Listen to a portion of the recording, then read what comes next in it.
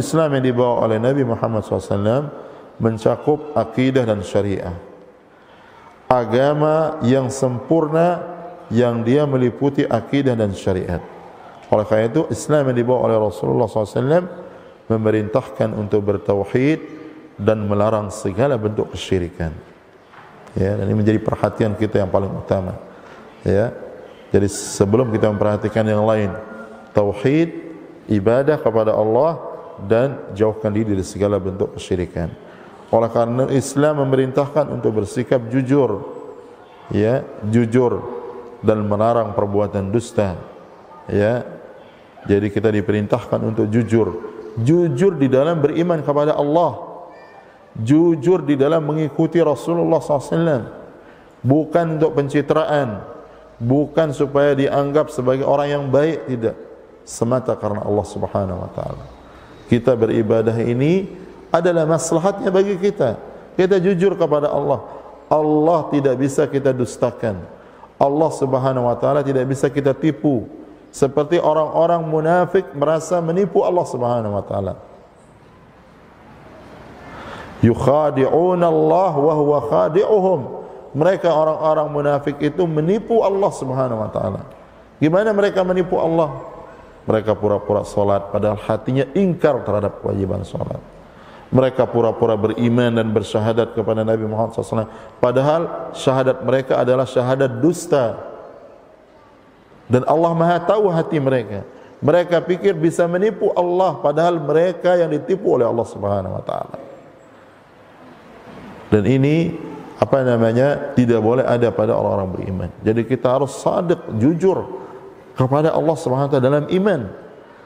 Karena kalau kita tidak jujur, berarti kita sama dengan orang-orang munafikin, artinya dalam keimanan.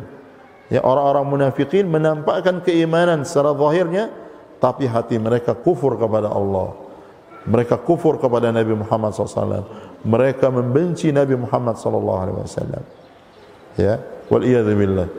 Ya, semoga Allah sucikan hati kita, bersihkan hati kita, jiwa kita dari kemunafikan, dari sifat-sifat orang munafik. Dan juga juga kita jujur di dalam ibadah, ittiba mengikuti Rasulullah SAW. Artinya kita mengikuti sunnah Nabi SAW yang benar. Jangan kita berbuat bid'ah. Jangan kita beramal dengan amalan bid'ah. Kita cari tahu dengan belajar mana sunnah Nabi Muhammad SAW mana yang sesuai dengan sunnah Nabi Muhammad SAW. Kemudian juga kita jujur di dalam muamalah, dalam ucapan, di dalam perbuatan di dalam keyakinan kita juga ya. Allah Subhanahu wa taala mensifatkan orang-orang yang jujur orang-orang yang siddiq mereka dengan sifat-sifat yang mulia sifat-sifat yang baik. Dan Rasulullah SAW memerintahkan kita untuk jujur.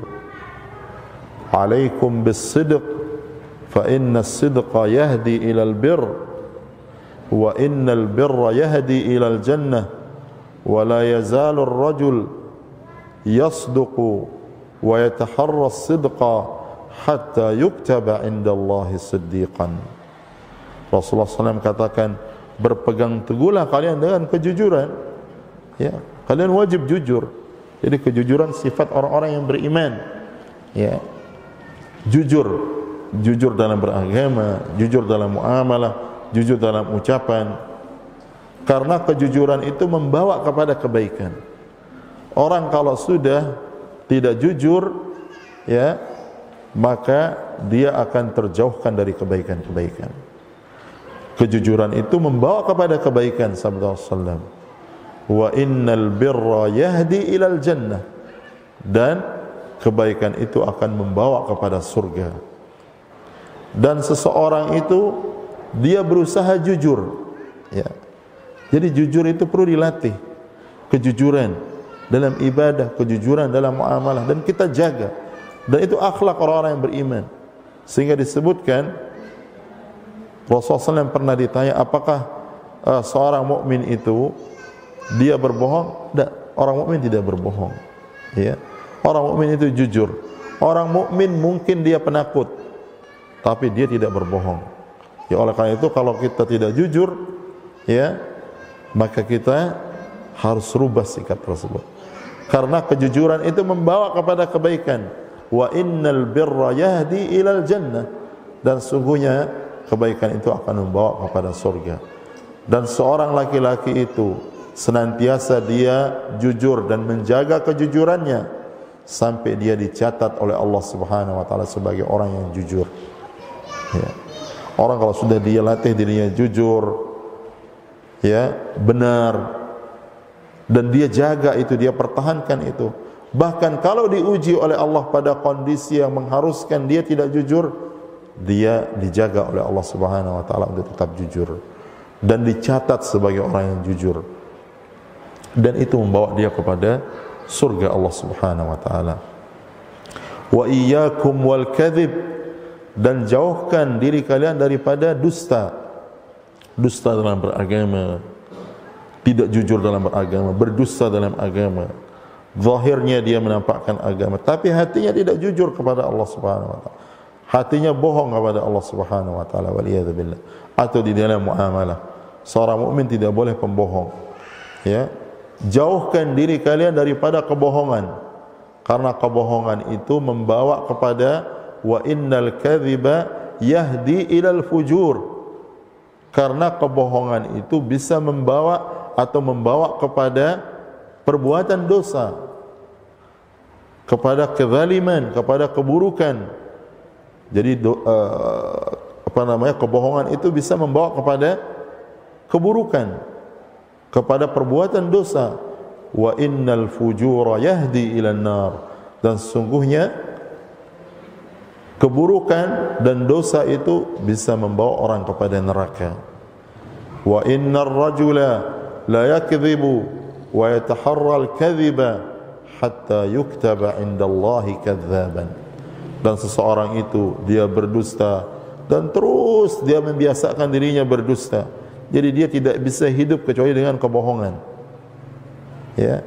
Dia kalau sampai orang ada yang mengatakan dia kalau tidak bohong itu koreng dia. Ya. Koreng dia. Jadi enggak bisa kalau tidak bohong. Wal billah. Ya. Dia terus bohong dan dia terus membiasakan diri dalam kebohongan itu hatta yuktaba indallahi kadzaban sampai Allah catat tulis dia sebagai seorang pembohong. Nah orang kalau sudah dicatat sebagai pembohong oleh Allah Subhanahu Wa Taala, hidupnya akan selalu dalam kebohongan.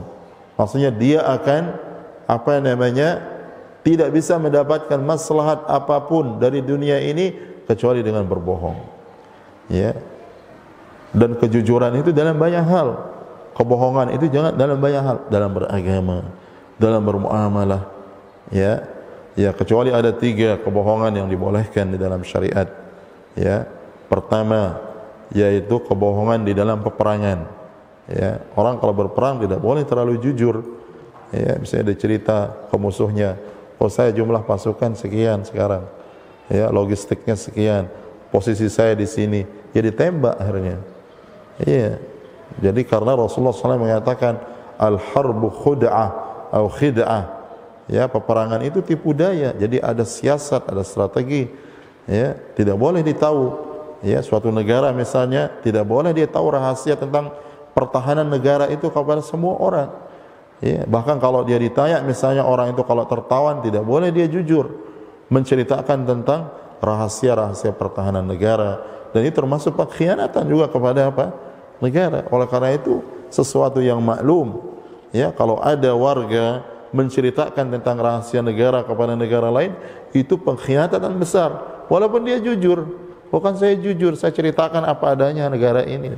Tak boleh itu berkhianat namanya.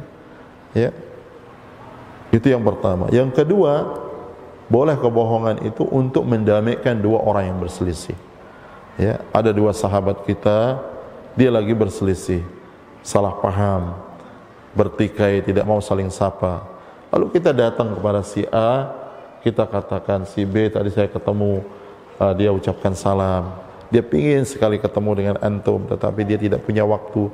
Padahal dia tidak pernah seperti itu. Itu bohong. Tapi kebohongan untuk maslahat. Kita datang lagi ke si B itu, kita katakan, oh si A itu ingin sekali ketemu dan dia minta maaf dengan apa yang terjadi ini. Padahal kedua orang ini sama-sama tidak mau ketemu, sama-sama merasa benar. Tapi dia pihak ketiga ini berusaha mendamaikan mendamaikan orang. Nah justru jangan dikompor-kompori.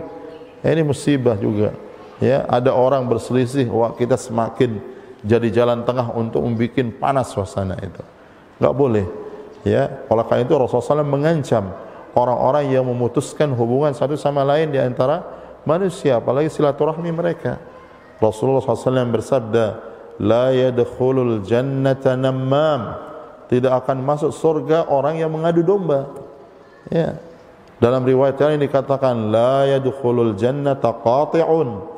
Tidak akan masuk ke dalam surga orang yang memutuskan hubungan dan silaturahmi ya justru dibolehkan kita mendamaikan satu orang dua orang satu sama lain atau satu kelompok dengan kelompok yang lain kita damaikan dan dibolehkan kita berdusta untuk kemaslahatan perdamaian mereka. Dan itu dibolehkan dalam syariat pada batas-batas yang yang maslahat untuk hubungan kedua orang Islam.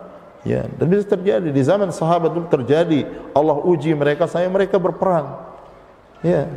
Bayangkan dua pasukan besar di peperangan Jamal antara ya sahabat Ali bin Abi Talib di satu sisi dengan Ummul Mukminin Aisyah.